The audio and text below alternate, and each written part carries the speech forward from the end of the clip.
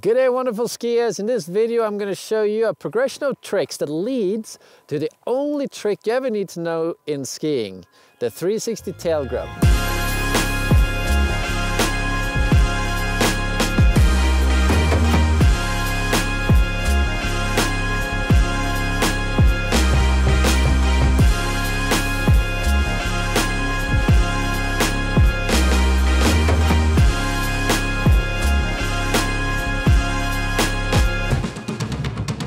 In order to nail the 360 tail grab, the first thing we gotta learn is a shifty.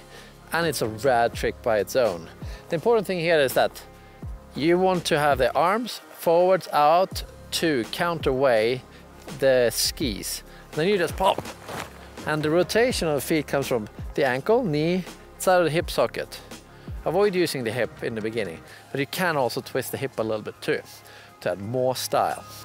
So let's do some shifties now. Arms far out and ready. oh.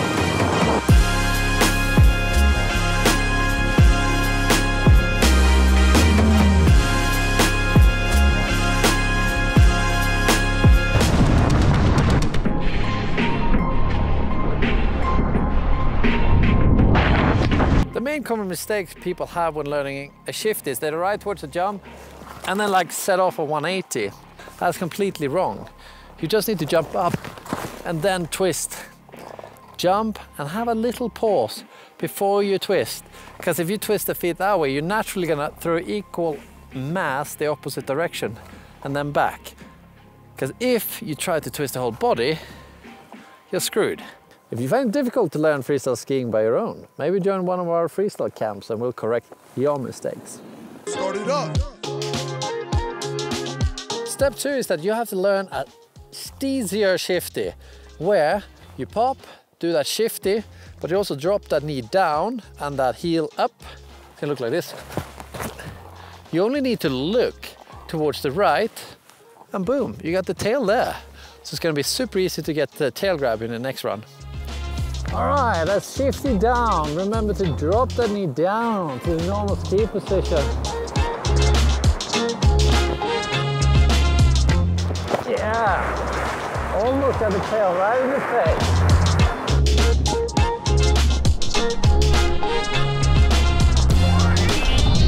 All right, let's learn how to tail grab. There's a lot of things going on with a shifty, dropping the knee, up with the heel, and then look towards the tail.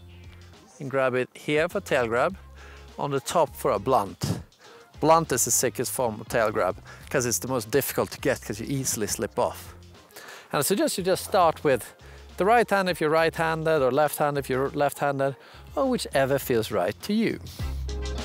If you've done the previous exercises, the tail grab will be easy, just like this.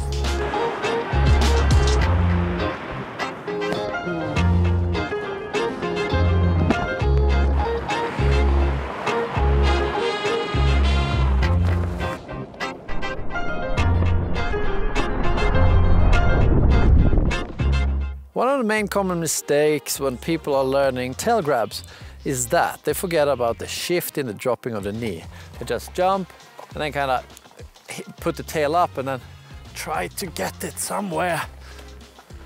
And it's usually a big mess. So remember, get that twist forwards and up. And it's really easy to grab it just here on the side of your body. You can also try shifting with an iron cross just to practice. The ski you want to grab for me, I want to grab with the right hand. The right ski is the one that's on the bottom, like such. Because the grab you, the ski you're kind of grabbing, kind of helps to keep it a bit tidy. When you do, if you do it the opposite, you easily kind of separate the skis like this, and it looks kind of ugly.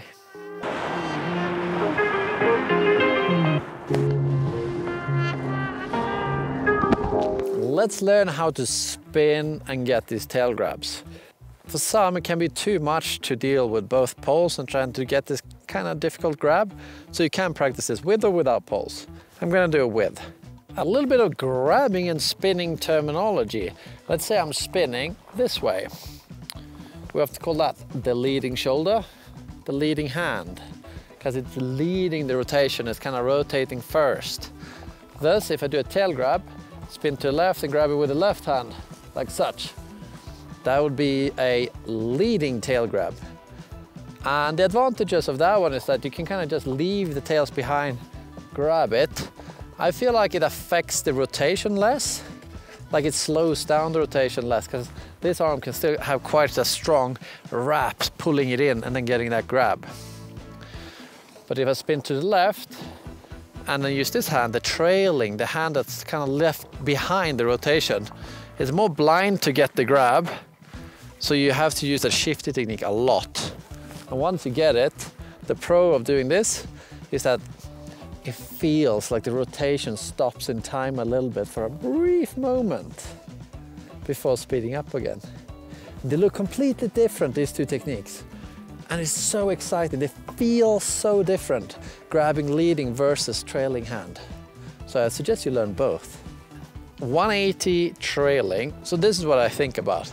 I basically wind up a little bit of rotation. Remember, don't twist too much, just a little bit. Pop, set it off. Have a little bit of delay. Engage at shifty, drop that knee. And I'll see the landing down there and the tail. I just grab, wait for it, and then bring that knee forward, boom, and stomp it. It feels fantastic. Notice I'm going to spin my feet much quicker.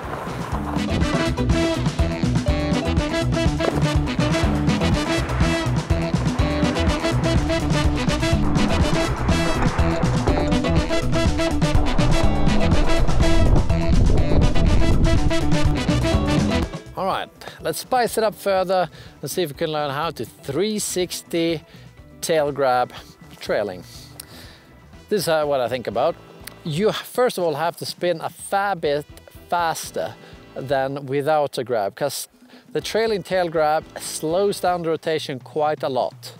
So I have a nice wind up, set it off pretty hard and I don't plan to get the tail grab before almost 270, around here. I get the tail, time kind of freezes for a little moment and then I let go of the tail and spot the landing and kind of just let the skis catch up because the skis are turning slower than the body due to that shifty. And it's also a good idea to learn 360 shifties before attempting this.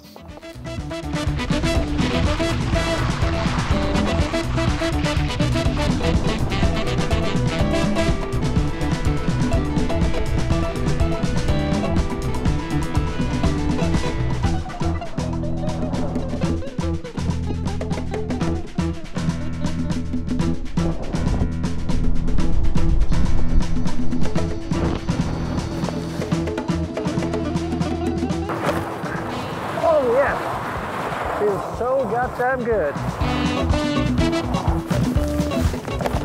Too small jump.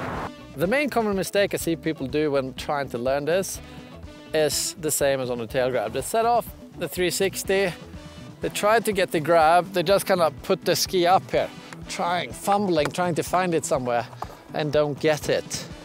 You really need that shifty, boom, get it. And it feels awesome. Now let's talk about how to 180 with a lead tail grab.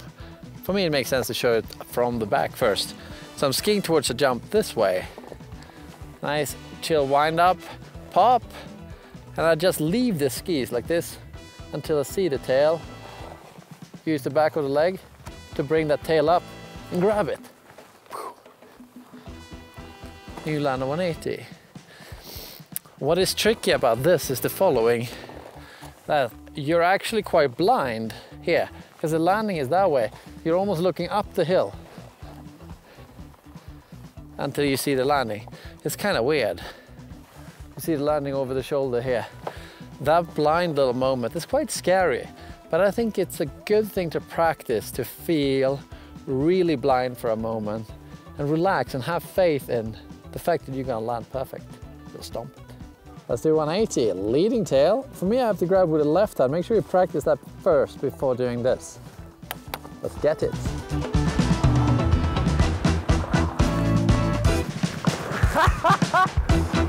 oh, yeah, that didn't go so great. You can always choose grab with your good hand or spin in your good direction. And I don't have time to make my left spin with the right hand grab looks easy. So I'm gonna spin a natural so I get to grab with my better hand. That way I think I could make this look decent.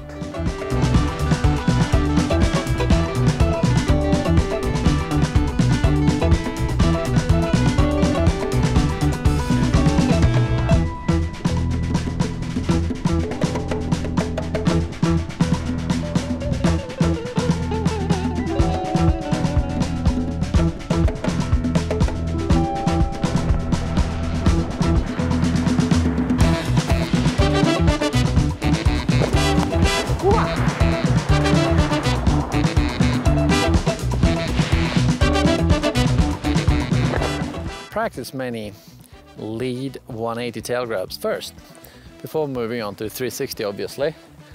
Let's think about 360 now. I ski towards the jump this way, so landing is this way. Set it off pretty hard as well because the grab is slowing us down. Leaving those tails behind. Just dropping that knee down. Use the back of the leg to get the tail nice and high. Get it.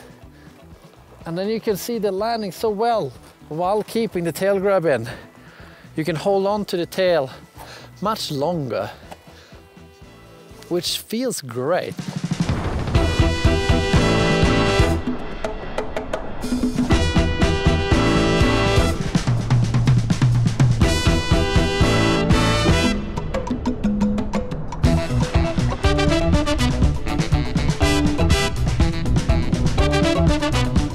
But the difficulty of doing lead, I find, is that when I do that, I kind of accidentally often drop the shoulder a little bit and almost cork it.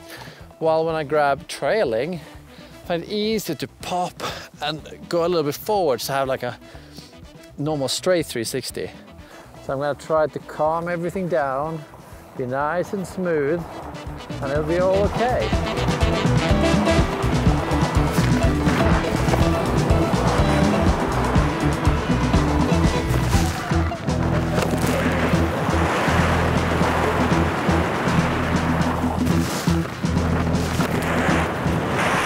Back seat, but I think it looked all right.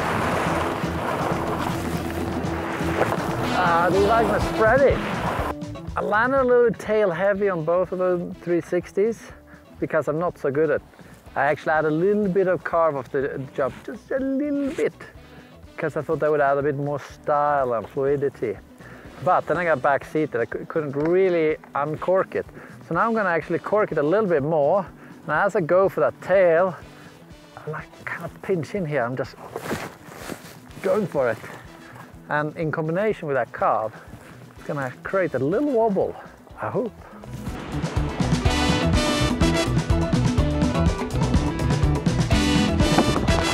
Better landing.